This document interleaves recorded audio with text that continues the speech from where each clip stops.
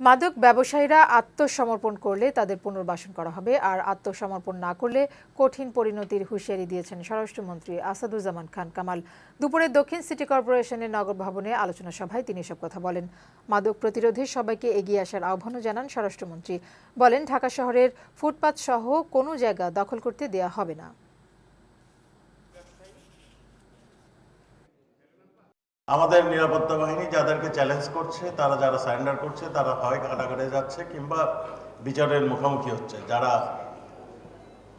অবৈধভাবে আবার অস্ত্রের প্রদর্শন করছেন, তাদের চরম পরিণতিটা আপনারা দেখছেন, প্রতিদিনই হচ্ছে।